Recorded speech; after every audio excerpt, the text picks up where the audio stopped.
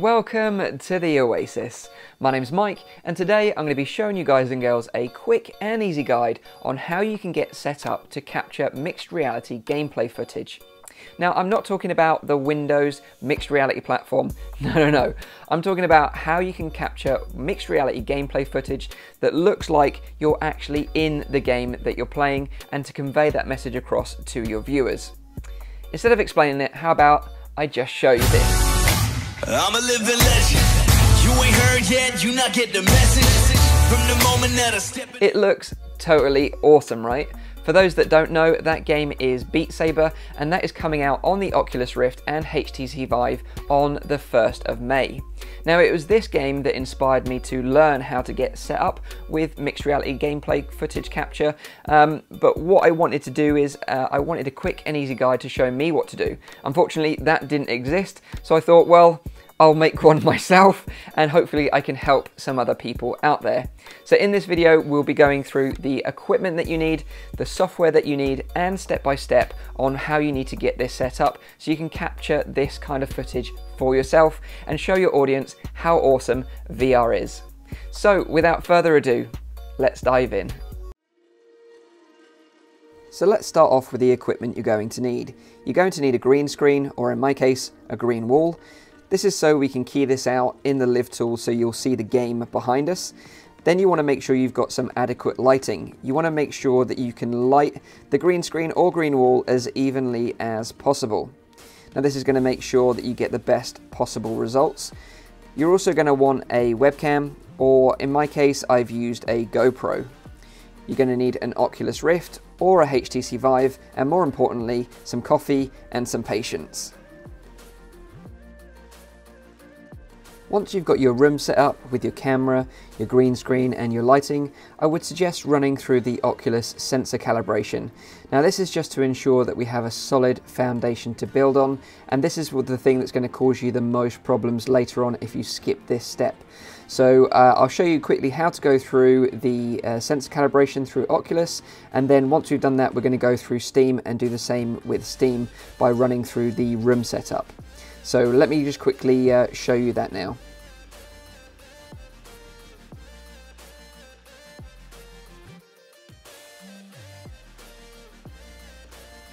So once you've gone through Oculus, then go to Steam, click on VR in the top right corner, and then when Steam VR little uh, window pops up, you want to click on Run Room Setup, and just follow the steps through that as well.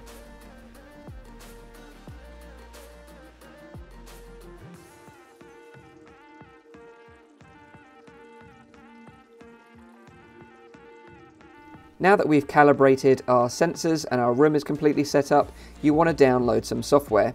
So head over to Steam and search for LIV, which is L-I-V. Download and install LIV.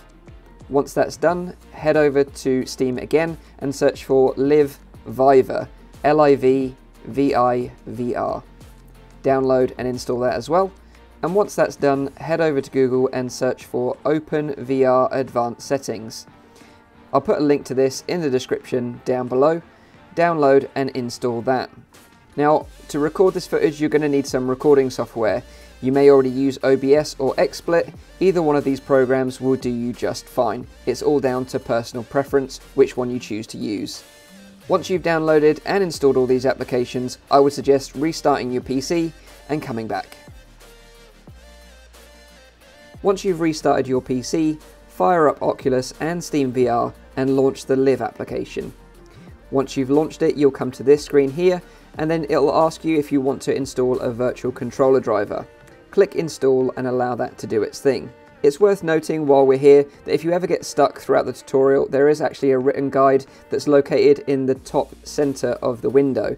So if you want some written instructions, they're also available there. If you launch the compositor, you will see that it gives you a live output window. Now this is what we're going to be capturing later on when we want to record our footage, but for now you'll probably notice there is a watermark in the center stating powered by LIV. Now if you want to remove this, you'll need to sign up to their Discord and submit a ticket to request the watermark is removed. They'll provide you with an additional Steam key, which you then just install and reopen and the watermark will be gone. So now that we've gotten rid of the watermark and installed the virtual controller driver, you want to close the LIV application and restart SteamVR. When you restart SteamVR, if you wait 10 seconds after SteamVR has enabled, you'll see that your virtual controller would pop up in your SteamVR window. Now you're up and running, we're ready to go into the calibration. So get ready for the next step. So this part is the most complicated part and most important part of the process. So ensure that you've got Oculus and Steam VR running in the background and launch LIV VIVR from Steam. You'll be presented with this screen here and just click to continue. And then you'll be presented with this. Now here at the top, it's got your camera. So select the camera that you want to choose for your calibration. In my setup, I've got the Elgato selected because I'm running a GoPro Hero 5 with a HDMI out into an Elgato HD60S. Below it, you've got the camera tracker and the virtual controller should be selected by default. If you don't see the virtual controller in this drop-down list, you need to close LIV VIVR, reset SteamVR and wait for that icon to appear for your virtual controller and then launch LIV VIVR again. So once you've got your camera selected and your virtual controller selected, press the Start Calibration button in the bottom left. The rest of the process will take place in the headset itself, so put on your Oculus Rift or your HTC Vive and then follow the steps shown in the guide. The first step will be to get your controller as close to your actual camera lens as physically possible. You almost want it actually touching the lens and then once you've got it into position, press the trigger button. Then you want to go as far back into your play space as possible to calibrate the corners of your play space.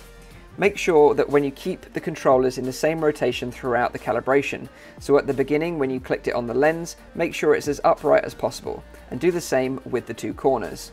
Once you've done that, you'll be presented with the view of your physical controllers overlaid with the virtual controllers. Now the trick here is to dial in the settings to get them as accurately represented as possible. This will mean that you'll have to adjust the camera field of view, the X and Y positions, and sometimes even the pitch and rotation. Once you've spent a little time getting used to this, you'll soon pick it up and you'll be able to calibrate your controllers as accurately as possible. Once you've got them so they're practically one for one whilst doing the T pose and hands up and hands down and turning around and rotating, once you've kind of got them so they're practically one to one, then you're good to go and export the config file. Press export and then you can come out of the headset and then save the configuration file somewhere on your desktop and name it something relevant that you'll remember. Now every time that you move or change your camera, you'll need to run through this calibration. So say if you wanted a camera directly over your head to record some awesome uh, Richie's Plank experience, for example, you would have to calibrate the camera again, but you can save it for different profiles and different cameras. Also, if you find that your calibration is completely way off, it's more likely that the first calibration is out of your tracking area. So ensure that your camera is in your tracking area when you press that first click and that your virtual controllers are lined up pretty well with your physical one. So once you're happy with your calibration and you've saved your calibration file to your desktop, we'll continue on and show you how to import those settings into the LIV program itself. So just like before, ensure that Oculus is running and SteamVR is running with your virtual controller and launch the LIV client. And now we want to set up our camera. Go to add a new camera and choose your device in the drop down list and then choose a higher frame rate as possible. Now here I've chose uh, 1920 by 1080 at 60 frames per second, but if your camera can only do 720p at 60 frames per second, then that is more desirable than the higher resolution. So the higher the frame rate, the better the output is going to be. You want to add two frames of latency and then import your calibration by clicking the import and edit button, open the WordPad with your calibration settings, copy them and then paste them into the camera calibration box and press save. Then you want to name your camera something memorable just in case you add further cameras in the future or decide to change the location of the camera. Then you want to go into keying and make sure you've got a green selected that represents the green on your green screen. As you can see in my output window, it's not quite right, and this is because I haven't turned all my lighting on. As you can see here, when I did eventually turn my lighting on, things were much, much better, and I could get a proper key result. Then you want to transform your image by cropping the left and right until you've just got the keyed out image.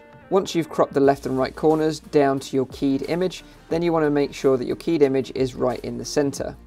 In the x-axis, this is about 500. Click save, and then you'll have your keyed out window in the middle, and then the game will be on the edges. Now we're ready to fire up a game. And now, after all that hard work, it's finally time for the fun part. Now you just need to choose a compatible game. There is a list of compatible games available on the Discord or on the Steam uh, store page, the Live Lion. It's worth noting that you must make sure that both controllers are loaded in Steam VR window before the virtual controller does, otherwise this could cause issues. So just choose a game, I'm going to choose Audioshield and I'll also show you some hot dogs, horseshoes and hand grenades footage. So fire up the game and then you'll see on the live output window, this is the window that you want to capture using OBS or XSplit, that once you've started the game up and actually started a track, then you will see the composited view. This comprises of the game and obviously the real life capture, which gives it this awesome mixed reality look. As you can see right now, I'm just facing the camera dead on, and this is where the OpenVR Advanced Settings comes in. If you press the menu button on the left touch controller, it will bring up the Steam menu. This is where you can choose Steam Advanced Settings and then go into Play Space and then rotate your play space 180 degrees. And this means that you can capture the footage from behind you. Just physically turn around in your play space 180 degrees, then you get this awesome over the shoulder look. So there we have it. I'm just going to show you a little bit more gameplay, uh, showing you hot dogs, horseshoes and hand grenades and how that looks with this capture mode. And I have to say, it does look awesome. I do appreciate there's a lot of steps involved in this guide, but hopefully it has helped you. So let's go straight to the outro. Okay guys and girls, so that is the end of the video and the end of my video guide on how to capture mixed reality gameplay footage on the Oculus Rift and HTC Vive. So I feel like this is the best way for some games to convey to your audience how awesome it is to be in VR playing these games. I'd love to know your thoughts in the comments down below on what games you intend to record using this method. Uh, are you excited about Beat Saber coming out on the 1st of May? I'd love to know in the comments down below. If this video help, helped you, please leave a like. If you've got any technical issues, I would definitely go back to step one. Make sure your calibration and your sensor setup is rock solid. If that doesn't solve your technical issues, then I would head over to uh, the LIV Teams Discord server. They're really, really helpful and I'm more than happy to help you guys out with any technical questions that you may have. So, thanks again for watching the video. Leave a like if it was helpful to you. Make sure you're subscribed for all my future content. And as always, I'll see you on the next one. Cheers.